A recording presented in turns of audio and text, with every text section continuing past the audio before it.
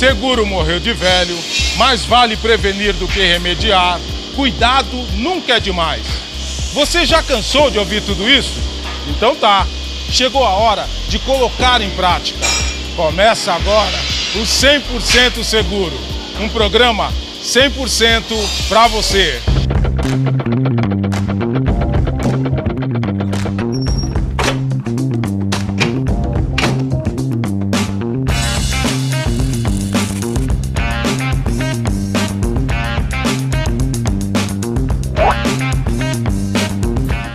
Hoje você vai aprender a não meter os pés pelas mãos, ver os cuidados que se deve ter com elas e como a limpeza evita doenças como dermatite.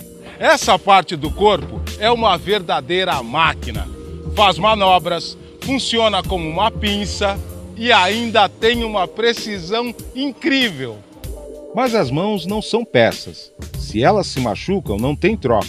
E depois, não adianta chorar pelo leite derramado.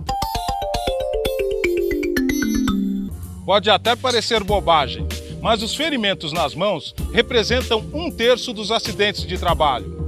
Então, se liga nas dobradiças e nos locais com perigo de esmagamento. Se faltar atenção, eles podem ser traiçoeiros. Vai levantar ou movimentar objetos? Luvas de segurança já. A mesma coisa vale na hora de mexer com pregos, caco de vidro ou material cortante. Dar um jeito nas pontas para evitar ferimentos ou machucados também é uma boa. Vai precisar tirar a proteção de alguma máquina?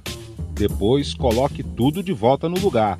Na hora de carregar um objeto, dê uma olhadinha na largura das portas e dos corredores. Se for colocá-lo no chão, peça uma ajuda ao colega. Assim, o risco de ter alguma parte do corpo prensada fica bem menor. Vão-se os anéis, ficam-se os dedos o ditado serve literalmente para os casados. Isso porque a aliança pode prender nos equipamentos durante o trabalho. Numa dessas, o acidentado corre até risco de amputação. Se estiver sujo de óleo ou graxa, nada de pegar peças, hein?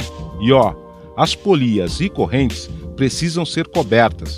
Elas beliscam que é uma beleza. Você já ouviu falar em dermatite?